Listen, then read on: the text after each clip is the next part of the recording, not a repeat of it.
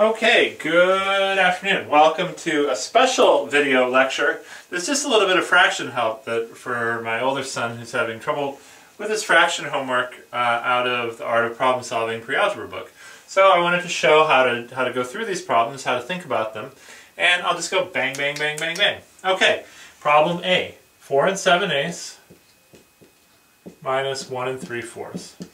Okay, well, the first thing we want to think about on this problem is that it's going to be very close to 5 minus 2. So we think the answer is going to be something like 3. But let's see. So this is 4 minus 1 plus 7 eighths minus 3 fourths.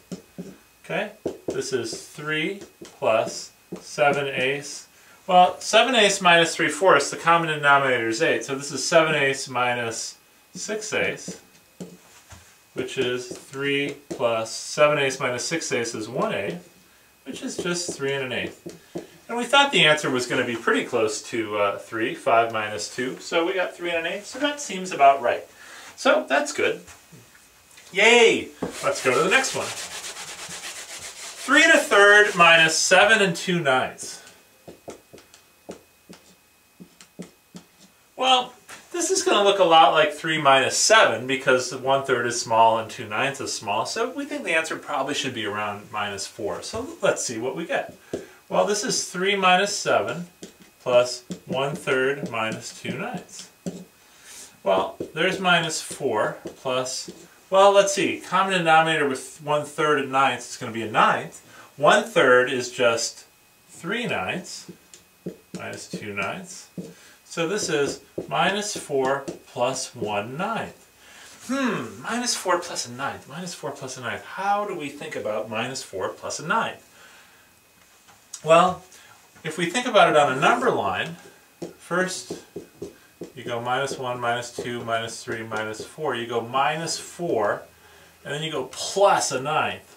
So that's going to be between minus 3 and minus 4.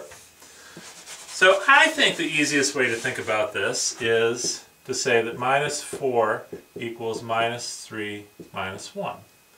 So that this whole expression becomes minus, minus 3 minus 1 minus 1 ninth.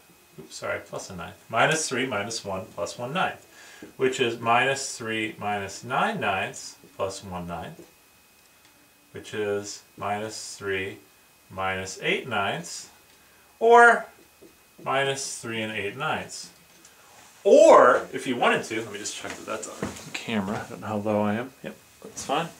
Or the other way you could do this is you could say this is minus 36 ninths plus 1 ninth, which is negative 35 ninths, which is the same as minus 27 minus 8 ninths, which is minus 27 ninths is minus 3, minus 8 ninths, or minus 3 and 8 ninths. Either way, we went over 4 on our number line and came back just a little bit. And again, remember, we thought this was going to be very close to minus 4, so there we go. All right, on to the next one. 19 and 3 twentieths minus 9 and 13 fifteenths. Well, 19 and 3 twentieths is very close to 19. 9 and 13 fifteenths is very close to 10. So this is 19 minus 10. So we think the answer should be about 9. But let's see. 19 minus 9. This is 19 minus 9 plus 3 twentieths minus 13 fifteenths. 19 minus 9 is 10. Plus, now we have to get a common denominator with 20 and 15. 20 and 15, 20 and 15. So 20, 40, 60, and 60 is 15 times 4, so that's nice. So 20, we have to multiply this by 3 over 3. We get 9 60ths. And we have to multiply this by 4 over 4. So 13 times 4 is 52. 52 over 60. So we get 10 plus minus 43 sixtieths, which is the same as 10 minus 43 sixtieths. So 10 I'm going to write as 9 plus 1 minus 43 sixtieths, which is 9 plus 60 sixtieths, minus 43 60ths. 60 minus 43 is 17, so this is 9 and 17, sorry, 9 plus 17 60ths, which is 9 and 17 60ths. And again, we thought the answer was going to be pretty close to 9, 19 minus 10, and this is pretty close to 9, so we're really happy. Okay, moving right along. 18 minus 6.5 plus 5 and 1 third. Well, we know from, from our arithmetic rules that we have to do what's inside the parentheses first, so let's do that over on the side here. So we get 6.5 plus 5 and a third, and we think this is going to be pretty close to 6 plus 5, which is 11, so we'll see. So this is 6 plus 5 plus a half plus a third, which is 11 plus, well, common denominator between 2 and 3 is 6. So this is 3 6 plus 2 6, which is 5 6. So this is 11 and 5 6. Okay? A little bit more than 6, a little bit more than 5, gets us a little bit more than 11. Okay? And what do we have to do next? So now that's what's inside the parentheses. So now this is 18 minus 11 and 5 6. Okay? Well, 11 and 5 6 is pretty close to 12, actually. So this should be 18 minus 12. So this answer should be pretty close to 6. Let's see what we get. We get 18 minus 11 plus, well, I don't have a fraction here. So I'm just going to say 0 minus 5 6. Well, this becomes 18 minus 11 is 7 minus 5 6, which I'll just write as 6 plus 1 minus 5 6 which is 6 plus 6 6 minus 5 6, which is 6 plus 1 6, or 6 and a 6. And again, we thought this answer was going to be pretty close to 6, and it turned out to be really close to 6. So that's nice. Okay, so now we've done A, B, C, D. On to E. E, E, E. Okay, 5 and 5 twelfths times 24. 5 and 5 twelfths times 24. Ooh, this is really interesting. Well, what do we do when we multiply normally? Like if we had to do, uh, I don't know, 15 times 7, we would do 10 times 7 plus 5 times 7. Here we're going to do the same thing. We're going to do 5 times 24 plus 5 twelfths times 24. So that's nice. 5 times 24 is 120.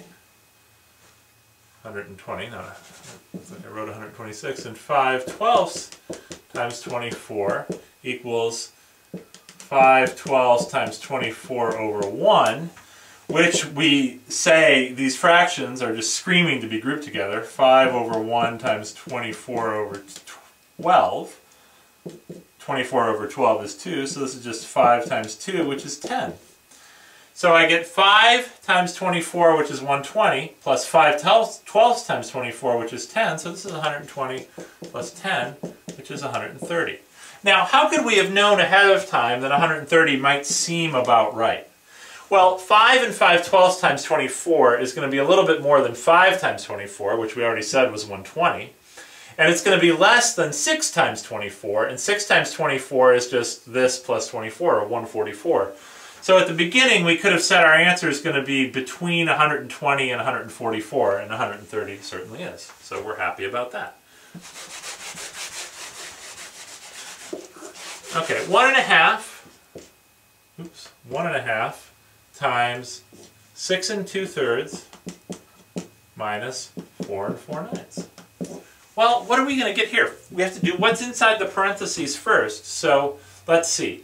6 and 2 thirds minus 4 and 4 ninths equals 6 minus 4 plus 2 thirds minus 4 ninths, which is 2 plus 2 thirds is just 6 ninths. 6 ninths minus 4 ninths, so this is 2 and 2 ninths, which we'll just write as 2 and 2 ninths. Okay? So that's what's inside the parentheses. So now I have to, sorry, I'm going to have to erase that, 2 and 2 ninths. So this is the same as 1 and a half times 2 and 2 ninths. Well, we don't know how to multiply mixed numbers together. We don't really have any rules for that. When it was a mixed number times an integer, we knew how to do that an easy way. But I think the easiest way to multiply mixed numbers themselves is just convert them into fractions, because we know how to multiply fractions. One and a half is just three halves. Two and two ninths is just 20 ninths. And now we can multiply these together, but oh wait! First we can, we can use our commutative rule to make this a little easier. This is the same as 20 halves times 3 ninths. Just flip the, the top. So 20 halves is 10, 3 ninths is 1 third, so this is 10 thirds, which we can write as 3 and 1 third. Yay! Okay, moving right along. Okay, 5 and 1 third. This is one where they're trying to trick you a little bit. 5 and 1 third plus 2 and 1 third divided by 3 and a half. Okay? Our rules for, for arithmetic say we got to do multiplication and division first when there's no parentheses. So first we got to do this part. So 2 and a third divided by 3 and a half. Well, this is 2 and a change divided by 3 and a little bit, so this should be something like 2 thirds, but let, let's see what we get. Again, to divide mixed numbers, let's just convert them into fractions. So 2 and a third is the same as 7 thirds divided by 7 halves. 3 and a half is 7 halves. So this is the same as 7 thirds times 2 sevenths, which is 7 sevenths times 2 thirds, which is 2 thirds. Now, funny enough, we thought this was going to be about 2 thirds and turned out to be exactly equal to 2 thirds. So that's, that's really nice. So now we have, bring this all the way up here, 5 and a third plus 2 thirds, which is 5 plus 0 plus 1 third plus 2 thirds. The reason I said 5 plus 0 is there's no, there's no integer part here.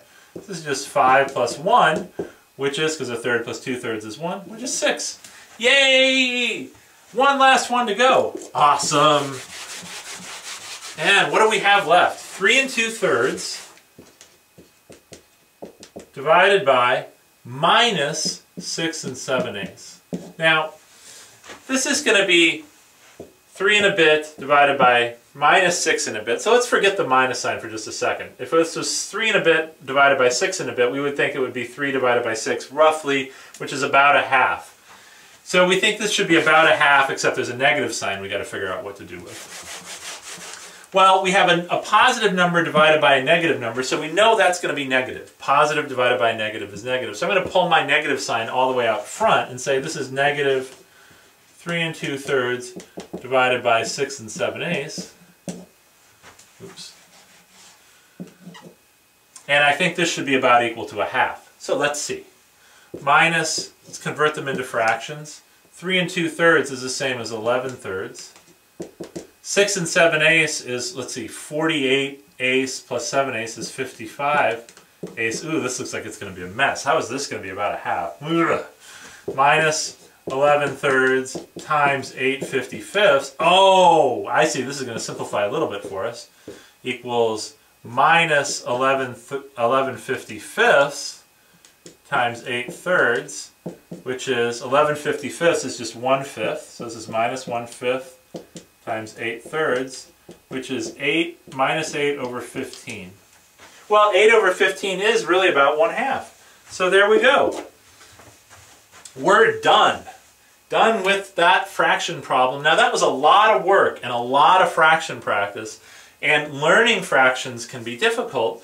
But the nice thing is when you get a little bit of practice, it's not that hard to go through. So, thanks for watching this video. Hope that helped you learn a little bit about fractions.